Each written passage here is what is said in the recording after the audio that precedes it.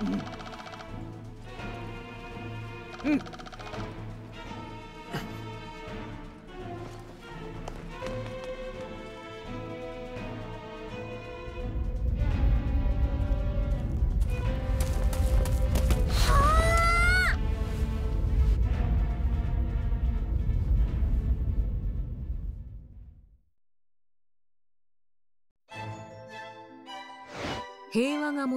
はずのハイラル王国に再び異変が起こりました。新たな異次元世界が出現したのです。ハイラル城に呼ばれたリンクはインパから異変の調査を頼まれると冒険の準備を整えてすぐに旅立ちました。不思議な風景が広がる新たな異次元世界に入ったリンクはそこで魔物を相手に奮闘する一人の女の子と出会います。彼女の名前はテトラ。海賊団のリーダーをしていましたが異変に遭遇して海賊の仲間とはぐれてしまったということでした。とにかく今は魔物を退治しなくては意見が一致したリンクとテトラは協力して魔物に向かっていくのでした。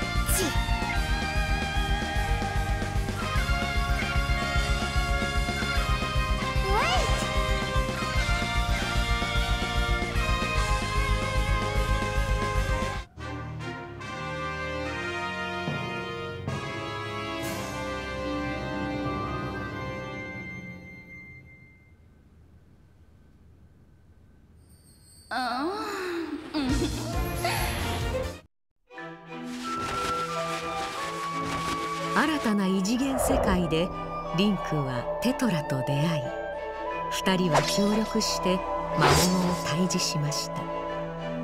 ところが魔物を倒し終えたリンクが空を見上げると遠くに魔物らしき大きな鳥が飛び去っていくのが見えました。リンクが目を凝らすと大きな鳥はその足に何かを掴んでいました。それはなんとテトラでした。このままではテトラが連れ去られてしまう。リンクは慌てて大きな鳥を追いかけるのでした。